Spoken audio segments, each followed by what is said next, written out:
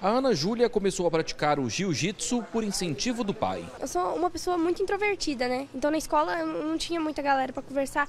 E o meu pai fez o projeto, inclusive, por causa disso, né? Porque o meu pai é o professor. Ele, daí depois que eu comecei o jiu-jitsu, eu comecei a me enturmar muito com gente aqui. E eu comecei a me soltar mais, porque eu sou muito tímida e quando eu, é muito difícil para mim fazer amizade com uma pessoa. Mas aqui ficou mais fácil, porque eu tô treinando com todo mundo, eu tô fazendo amizade com todo mundo.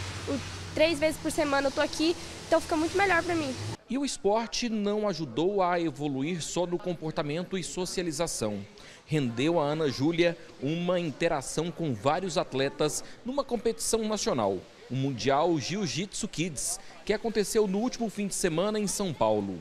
Durante a competição, a Ana Júlia conquistou a medalha de bronze. Ela participa de um projeto social que existe há quase três anos em Anápolis e reúne 80 crianças e adolescentes na prática esportiva. Comecei até na minha garagem, aí eu comecei com, a minha filha, com o sobrinho, com o primo, a gente começou, aí passou uns dois meses, começou a ficar muito grande, a gente foi para a associação de moradores, aí logo lá também ficou um pouquinho apertado, a gente mudou de local e veio para cá. Mas o início mesmo é mais para dar o acesso a todos ao jiu-jitsu, porque é um esporte muito bom e, tipo assim, querendo ou não, representa o Brasil o jiu-jitsu, é muito forte aqui.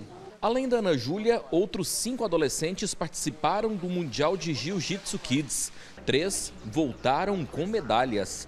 Enzo conquistou a medalha de prata. Foi muito duríssima, né? O oponente estava muito mais treinado que eu, mas foi muito bom estar tá lá e ter essa oportunidade que é o Mundial.